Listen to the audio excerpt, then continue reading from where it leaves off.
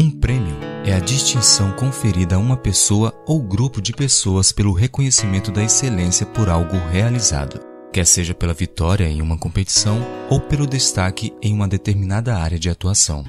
As cerimônias de premiações geralmente são glamurosas, atraindo a atenção de milhares de pessoas. Atualmente, a cerimônia que mais atrai as atenções do mundo é a entrega do Oscar, prêmio concedido pela Academia de Artes e Ciências Cinematográficas aos destaques em várias categorias de produções cinematográficas. Ela é marcada pela presença das mais importantes celebridades do cinema mundial que desfilam glamurosamente no famoso tapete vermelho. O vencedor de cada categoria disputa receber uma estatueta folheada a ouro, além da fama e prestígio profissional.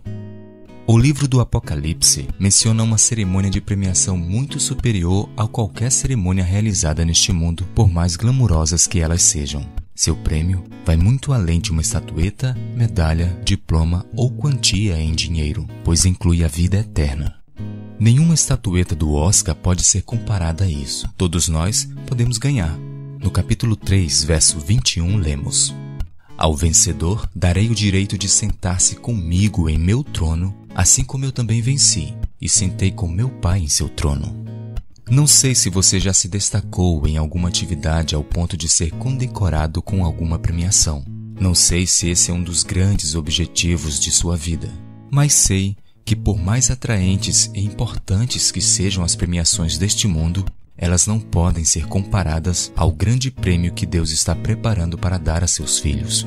Nunca se esqueça disso, pois nada vale ganhar o mundo inteiro perder a vida eterna.